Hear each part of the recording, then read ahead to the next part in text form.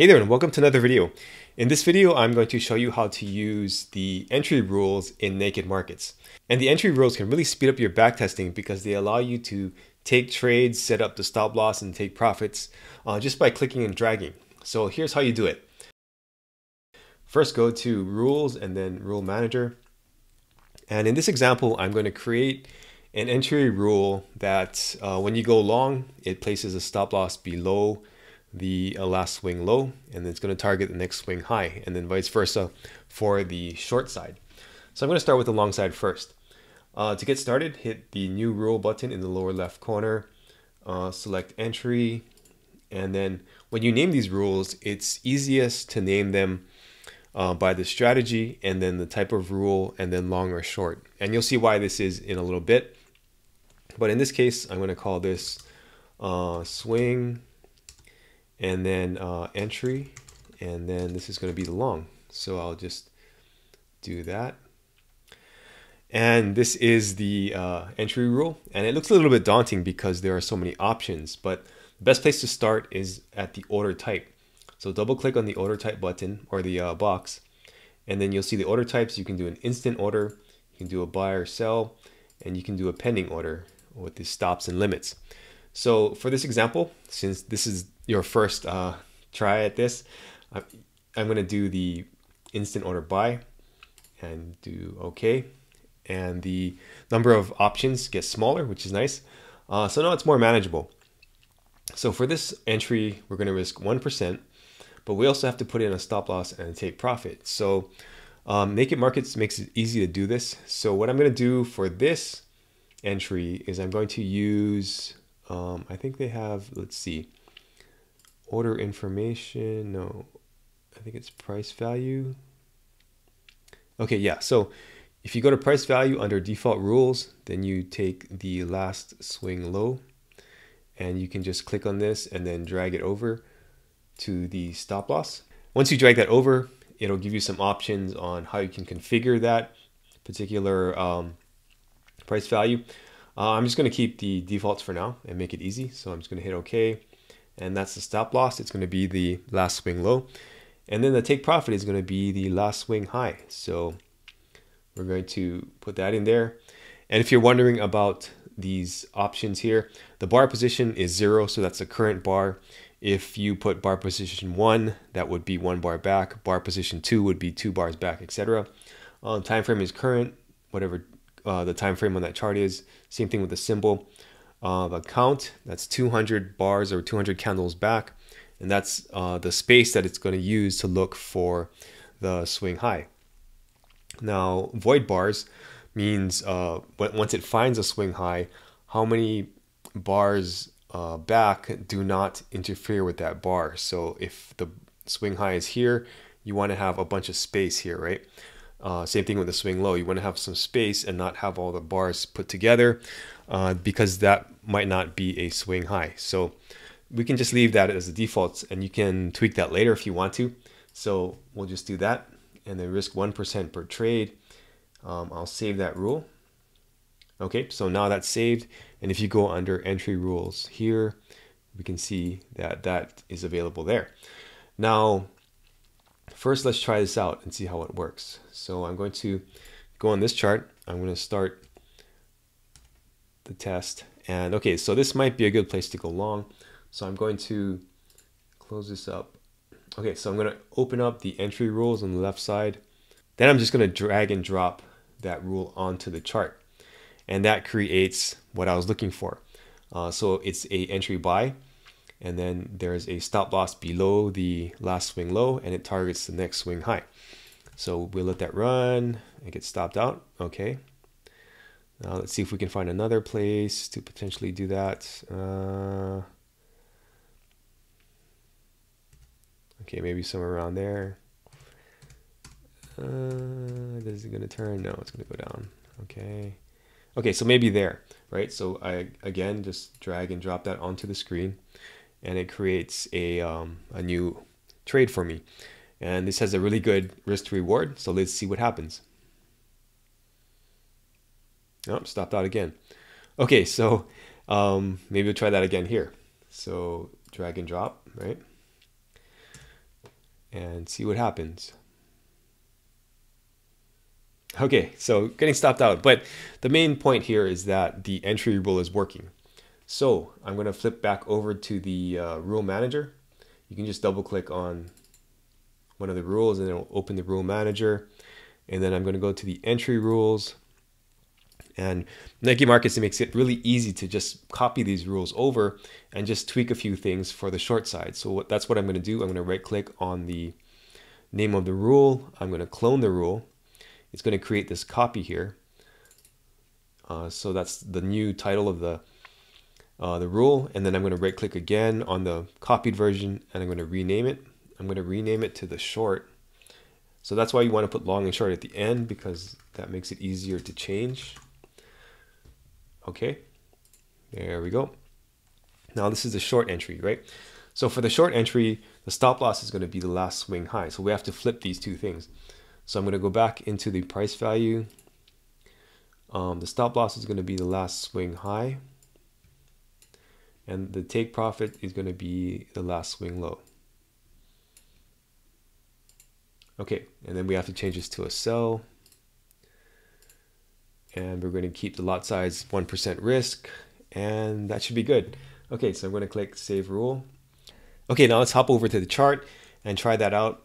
Um, so this might be a good place to go short. So I'm going to drag and drop the entry short and it creates the uh, stop loss above, take profit below. I let it go and no, get stopped out. Okay.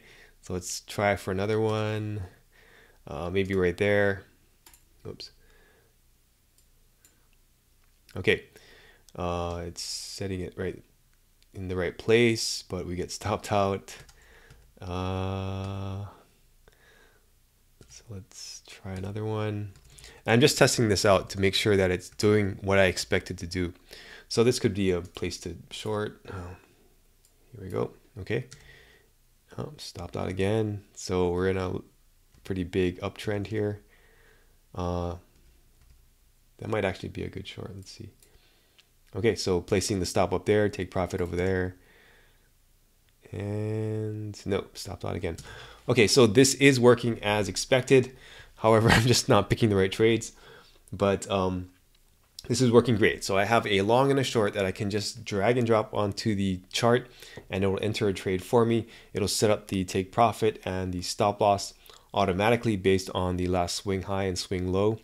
Uh, so this is fantastic. It really beats having to put something in manually like this and then putting the stop loss up there and then the take profit down there, right? So this is a great way to speed up your backtesting. So what we can start to do with these rules is add some complexity. Uh, so let's say, for example, for the stop loss, we wanted to make the stop loss 10 pips away from the low or the high. Uh, so right now it's placing the stop loss exactly at the uh, swing high or swing low, but we want to give it a little bit of room to breathe, right? So uh, what we can do in this case is to create a core rule. So a core rule is something that uh, you can create. It's some logic that can be put into another rule, like an exit rule or an entry rule, and that will help you to um, do some calculations in the background. So in order to do that, we can create a new core rule. So go to new rule, create a core rule, and then this is going to be swing core, and then long. Okay, so for this rule, we want to add or subtract 10 pips to the high or the low. So let's do the long first. So long is going to be, uh, let's see, price order or price value. So that's going to be the swing low, right? And then the stop loss is going to be 10 pips below that. So we're going to subtract 10 pips. So operators subtract and then go to price value pips and then we're going to set that to 10. Okay, so that's the new core um, rule for the stop loss. So I'm going to save that. Then I'm going to go back to the, the swing entry so the entry rule, uh, swing entry long. And then I'm going to replace this stop loss with my new core rule. So I'll put that here and that's the new stop loss. And then if I double click that, it'll show me the calculation. And on these um, workspaces, you can drag them around. You can zoom in and out with the um, the mouse wheel on your, on your mouse, or you can uh, do like a page up or page down on the mouse pad. So that's how you can see these things in more detail. But that's going to be the stop loss now. So I'm going to hit save on that. And then I'm going to check if this works. So I'm going to close this and then I'm going to look for a long. Uh, let's see, maybe something around there. Uh, so I'm going to take the swing entry long, going to put that on the chart, and then it does appear to be giving it some space there. So let's see. Okay, and uh,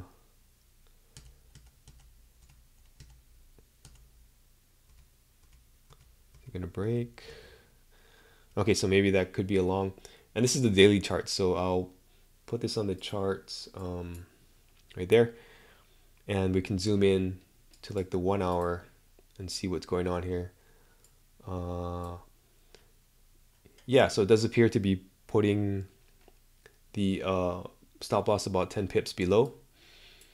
So that is working out. So we can just let this rip and see what happens. All right, so that's how you create more complexity. Now, if we're going to do that on the downside or for the short, we can go into the rule again and then um, set up the core rule by copying the core rule. So we want to clone that rule, double click, and then uh, rename it to short. Okay, and then uh, so this has to change to the last swing high, right? Because we're looking for a short. Okay, so I go into price value, last swing high, and then I'm going to add 10 pips. So operators, add. Okay, so I'm going to add 10 pips. I'm going to save that rule. Okay, then I'm going to go into the entry rule and then I'm going to uh, edit the short and for the short I'm going to put in the swing core rule there and we can double check the formula uh, last swing high plus 10 pips okay save rule and then we can close that and then we'll look for a short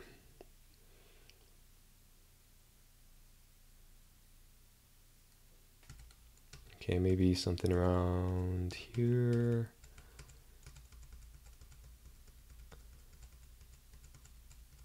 Okay, maybe right there. So we'll put the swing entry short in there.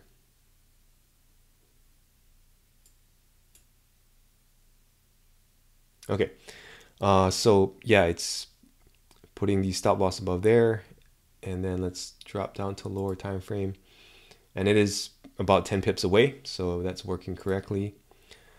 And we just let it rip and it gets stopped out. Okay, so at least we know the rules work.